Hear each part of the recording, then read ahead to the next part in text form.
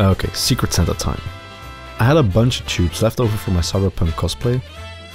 I wanted to use them in the Secret Santa project. After some brainstorming, I came up with the following, a DNA lamp. So I made it.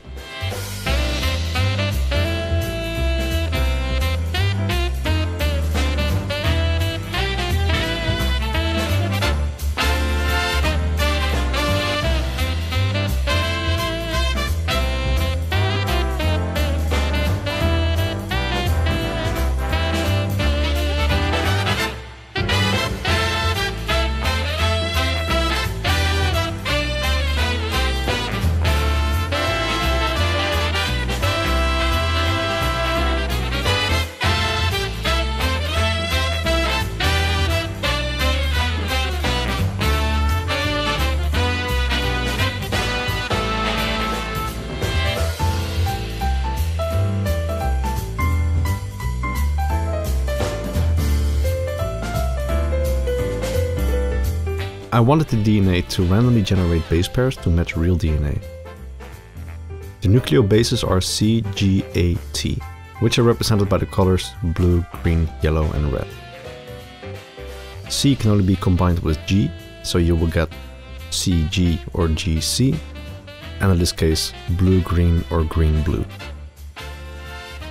And A can only be combined with T, for AT or TA. In this case, yellow, red, or red, yellow. I wrote code that randomly picks one of the four correct base pairs. With 15 base pairs, this program is able to randomly generate over a billion types of DNA. I used a Chinese Arduino Micro and two LED strips with WS28B LEDs for individual control. And there you have it, a functional, accurate DNA lamp.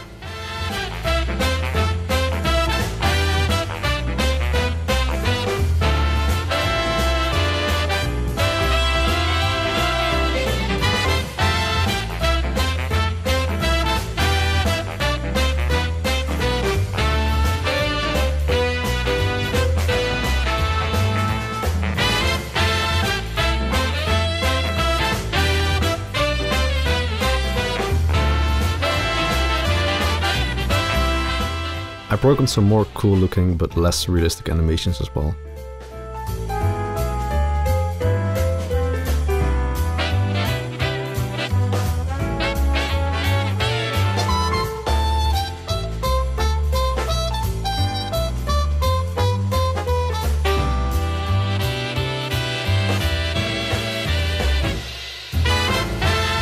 Thank you so much for watching the video. I posted a small progress update in Imgur a while ago, and after all the positive feedback, I decided to look into making this an actual product.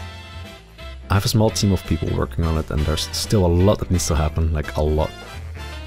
Uh, it's going to probably be funded through Kickstarter, and I will make sure to post a video once the time is here. Uh, but it's going to take a while, so don't get your hopes up just yet.